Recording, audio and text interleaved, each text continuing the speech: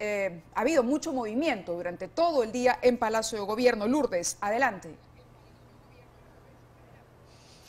¿Cómo estás, Mavila? ¿Qué tal? Muy buenas noches. Así es, como sabrás, el presidente Pedro Castillo no ha querido dar declaración alguna ni participar además de un evento que, del que participó en la mañana eh, público alguno. No ha pretendido acercarse a la prensa, por el contrario, ha mantenido sí una reunión con su equipo legal aquí por varias horas en Palacio de Gobierno. Hace unos instantes, de hecho, Benji Espinosa, su abogado, se retiró sin dar declaración alguna por eh, la zona privada a la cual no tenemos acceso los periodistas. Para comentarte, de hecho, que en instantes se tiene prevista la llegada aquí a Palacio, el, eh, arribo del eh, canciller mexicano.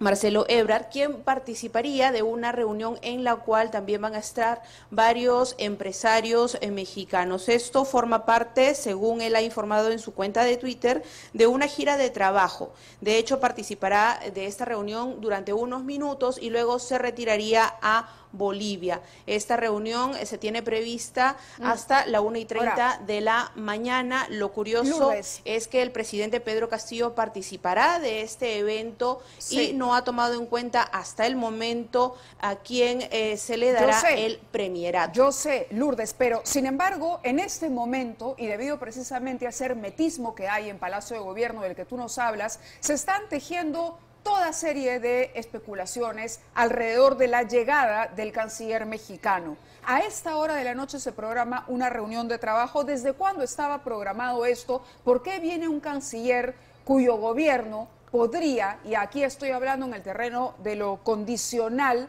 digamos, el presidente hace una exhortación a la comunidad internacional el día de ayer cuando ataca a la fiscalía. Hoy el canciller mexicano, el canciller de un país de izquierda que tiene alguna cercanía con el presidente eh, Castillo, va a visitarlo a esta hora y sabemos que la reunión se prolongaría hasta la una de la mañana.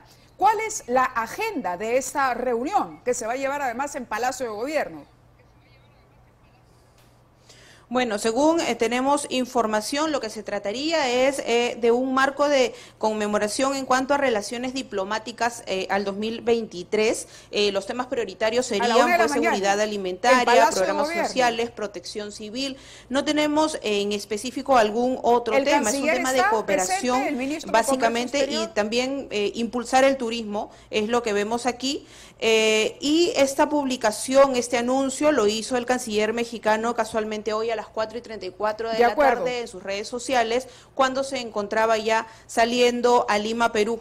Eso es lo que él señala en Twitter. Saliendo a Lima, Perú, les voy informando saludos. Y también informa ahí en el video que después de esta reunión se va a Bolivia. A ver, muchas gracias Lourdes por la información. Esto está sucediendo en Palacio de Gobierno y no faltan los que ya en redes sociales están comentando, el presidente está buscando asilo para irse fuera del país, para ponerse ¿no? a buen recaudo de la, de la Fiscalía y de la Justicia peruana. Congresista.